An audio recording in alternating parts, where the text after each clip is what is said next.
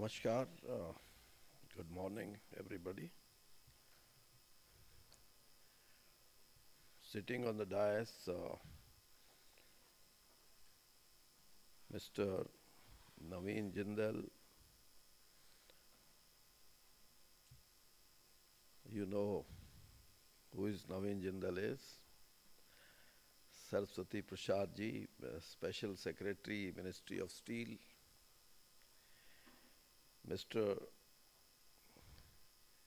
Baijendra Kumar, CMD, and uh, from JSW, Jayant Acharya and Mr. Ansari, CEO, JSPL,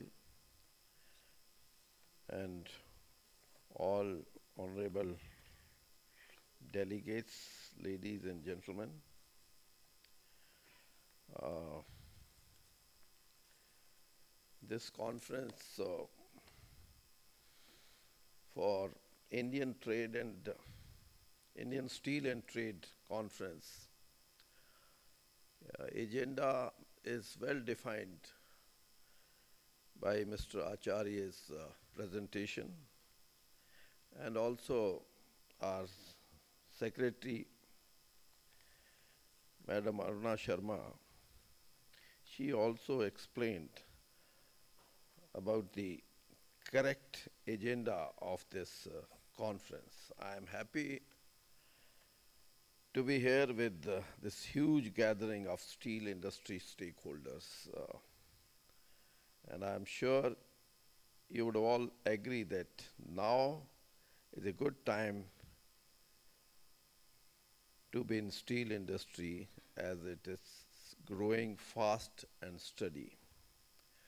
As far as fast is concerned, it is all right.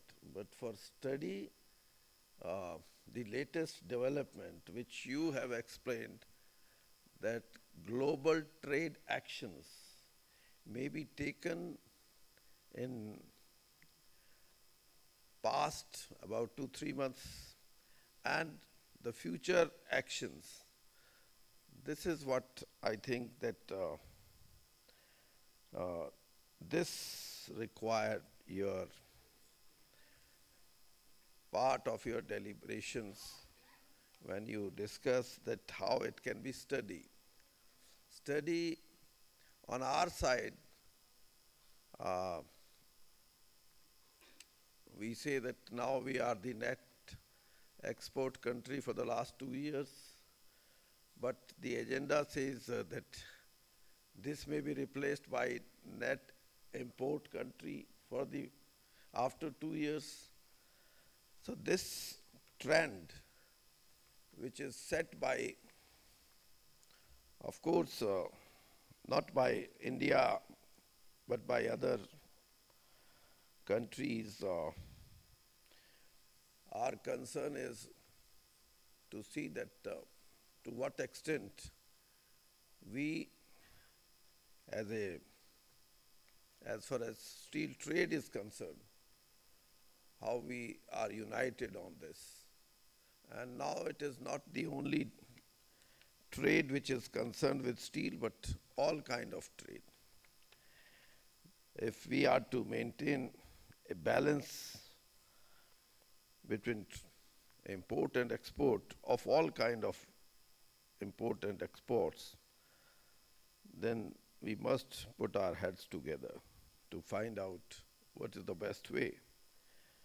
Uh, number two, position in the world in crude steel production is a near-term possibility. In fact, for the first quarter of 2018, uh, we were ahead of Japan.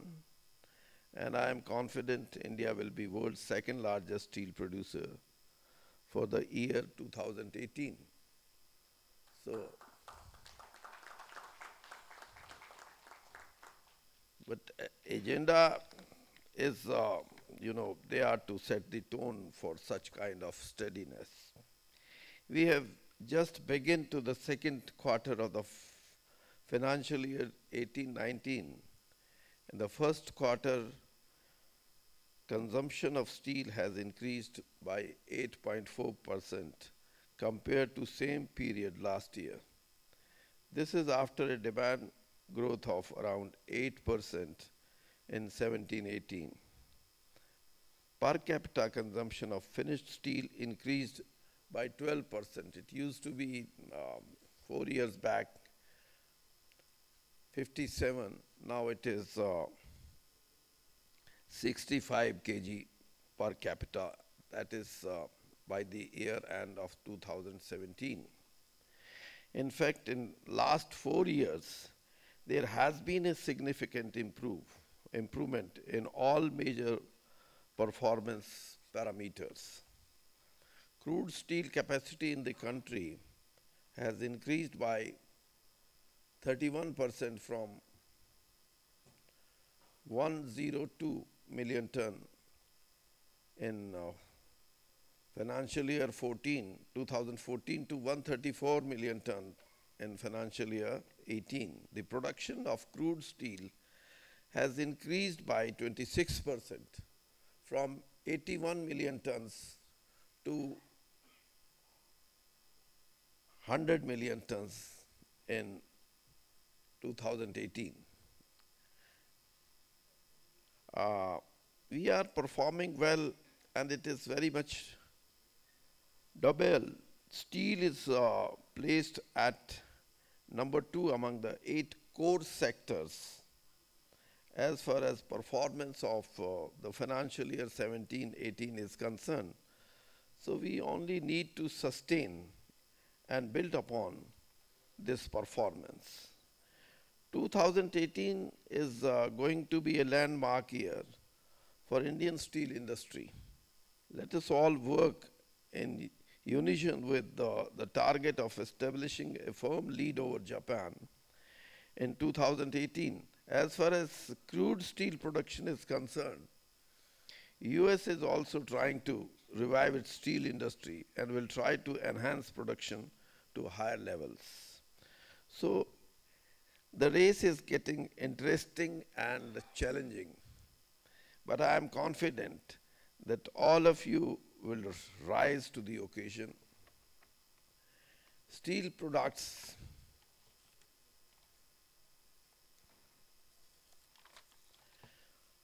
on the major initiatives that we have taken up.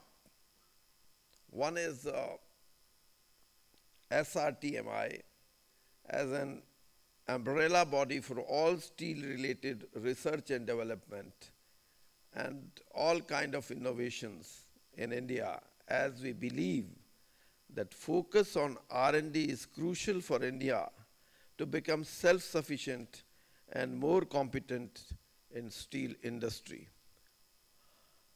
Uh, another initiative that we look is uh, instituting first of its kind awards, that is uh, awards for secondary steel producers to recognize their performance and their contribution to the development of nation. Both will be taking a final shape in the coming months.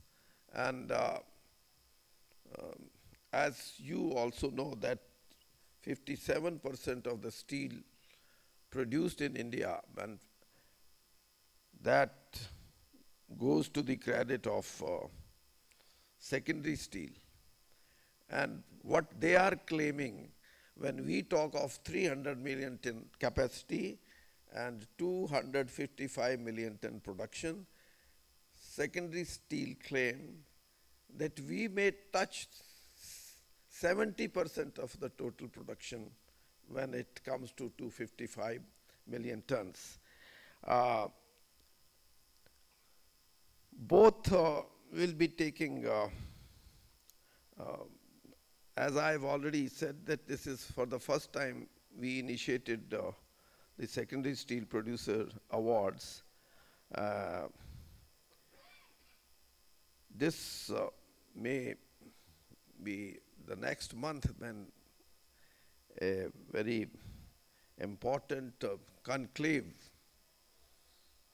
we are organizing under our policy, 2017 policy, And uh,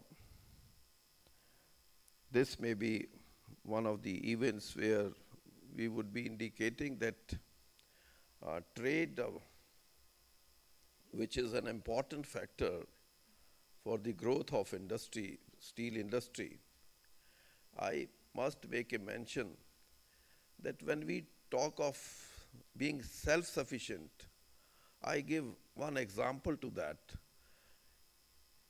Our budget of 2016-17, uh, there was, you know, as far as ex exports were concerned, we were losing our position in exports uh, rapidly, especially these garments and all that, which are very popular uh, events for exports. Then we pumped in 4 lakh crore rupees uh, in the rural sector.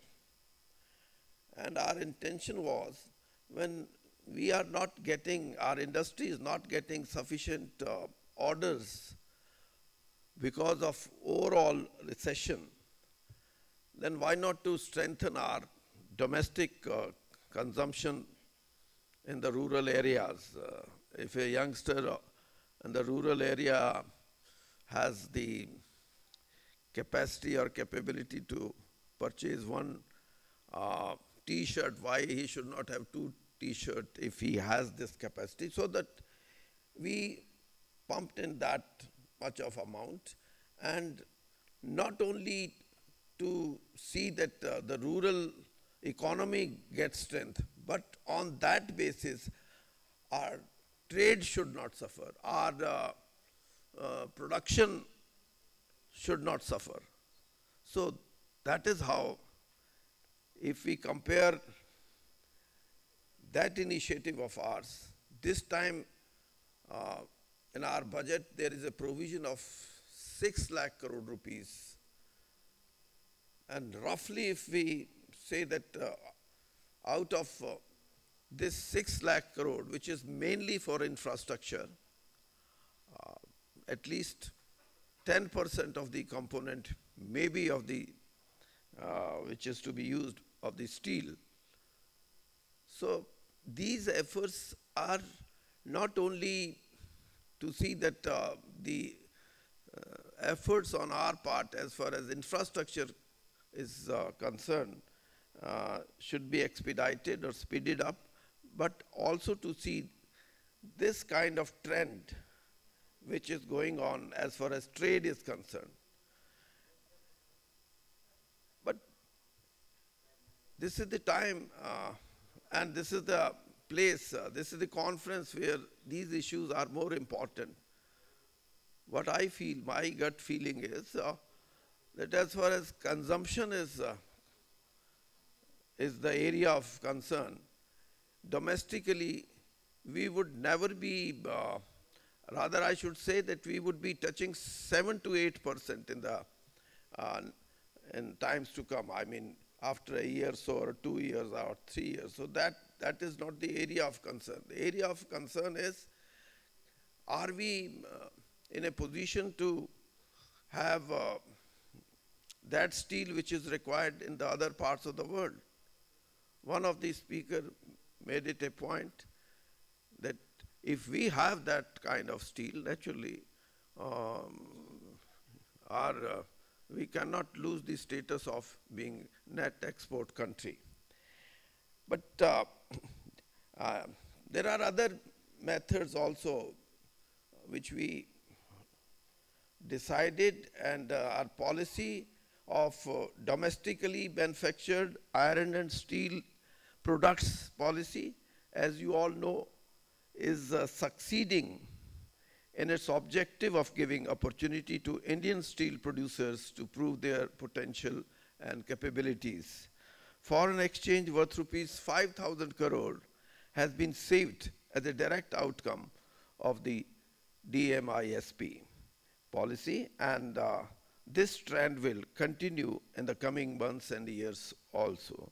National Steel Policy 2017 uh, has given a clear direction and roadmap to the steel industry with a vision of 300 million tons capacity and 160 kg per capita consumption of steel in our country.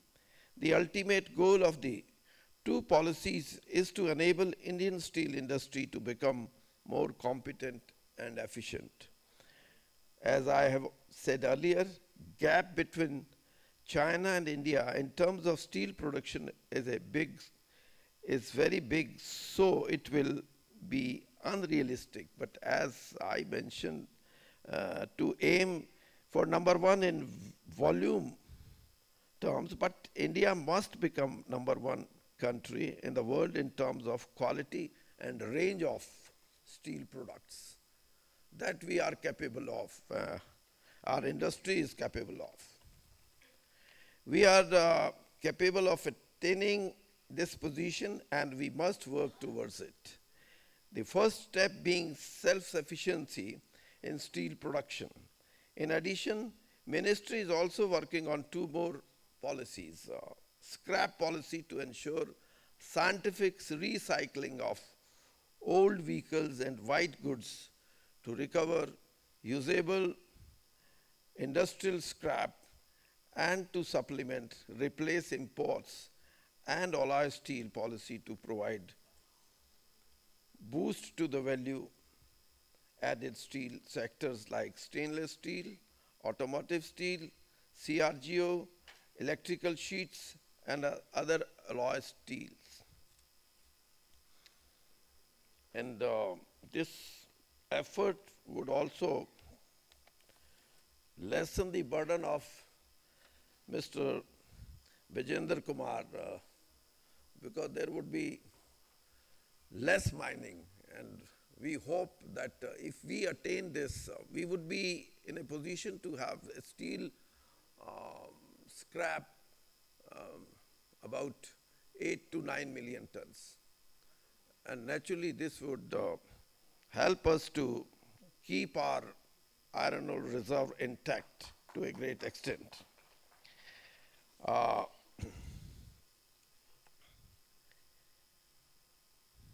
ministry, I'm happy to see that uh, Indian steel companies have made several new beginnings over the last few years. World's longest rails. Naveen is also you know, working on that. And uh, only few days back, uh, a delegation met me of the uh, association of, I don't know the name of the exact name of the association. Uh, they were uh, very much enthusiastic about this, that uh, um, this anti-junk rail line, especially on the coastal areas, their replacement takes place after every three or four years. And in the other areas, the replacement may take 10 years, 20 years, 15 years.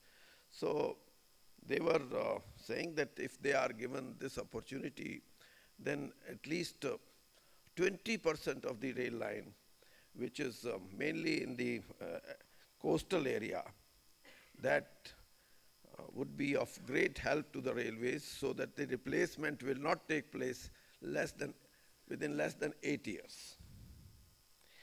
Uh, mobile apps, uh, uh, longest rails and coastal route for domestic transportation. Mobile apps for steel trading, taking steel far off areas in northeast e-Rakam online platform for agricultural products are few of these initiatives. It's very surprising to me and um, you may also feel surprised that uh, uh, industry is looking after agriculture. but it is uh, just by chance uh, when one of our PSU started e-Rakam in Northeast, they found uh, that there is a great demand of the farmers of northeast states. So they made sure that our this platform should be exploited to the hilt. And now we see that the results are coming. Farmers, uh, small farmers, ginger and all that, they feel so much satisfied with the, uh, with the use of this platform.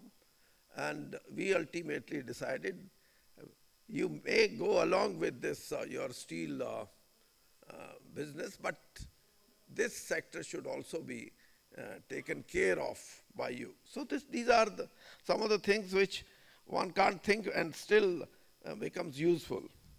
I would urge steel uh, companies in India to make concerted and coordinated efforts to associate themselves with government schemes aimed at inclusive growth like Pradhan Mantri Awas Yojana.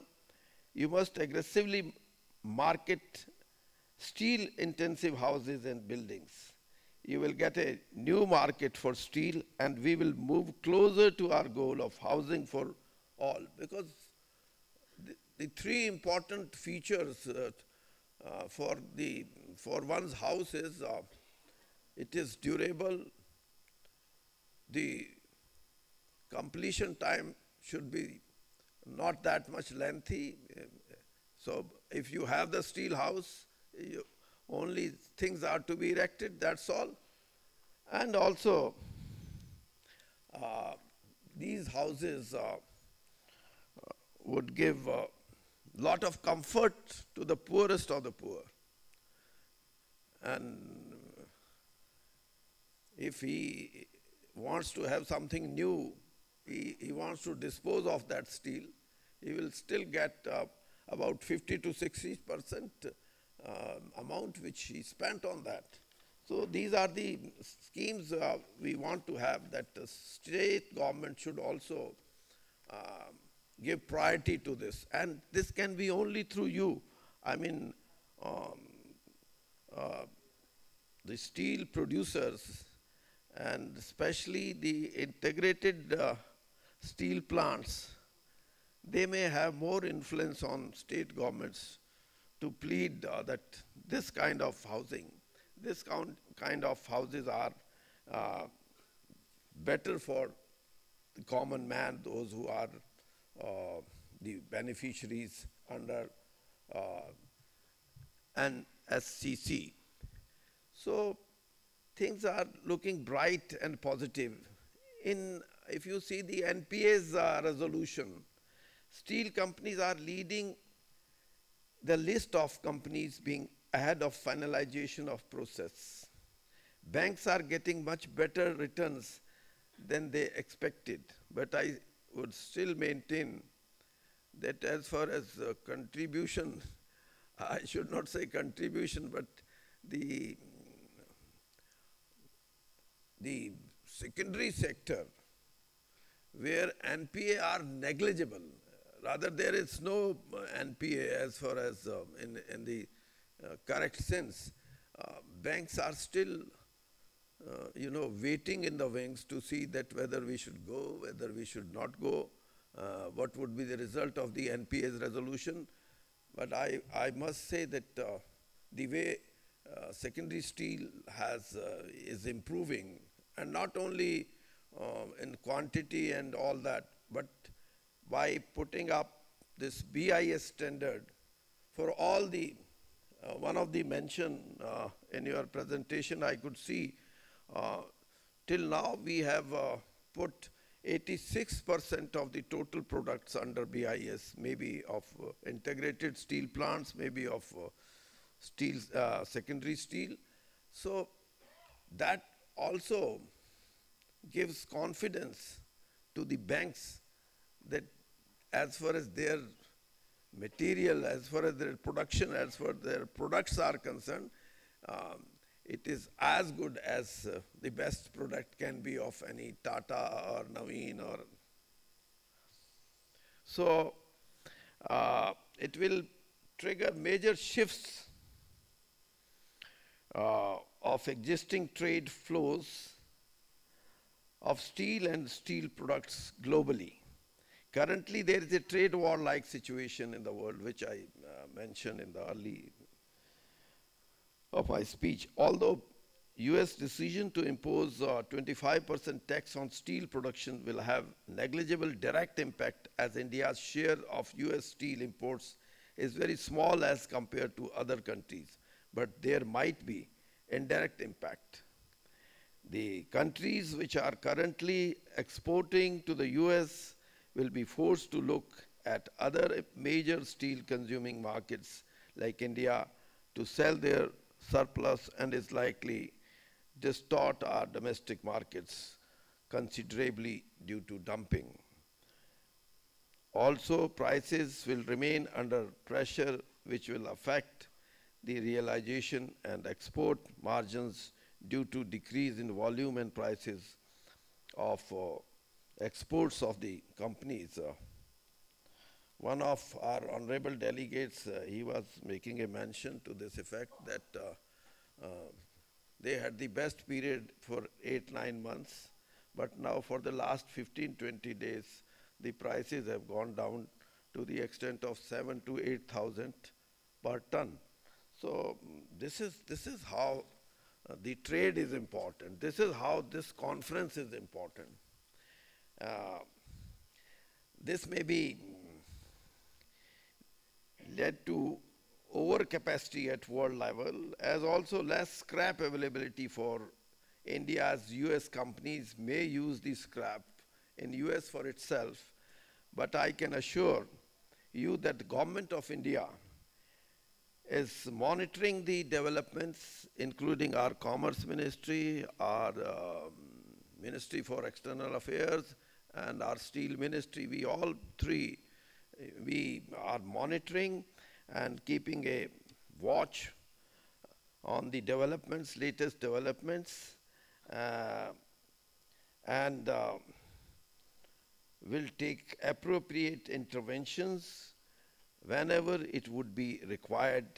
And uh, all of you are welcome to come forward with any idea on our proposal, at least on this uh, uh, current issue which is a, of great concern for the steel industry, your proposal or your idea uh, which can help Indian industry grow faster and perform better and the word which I used, study, let us together make and steel for Make in India. Thank you, thank you very much.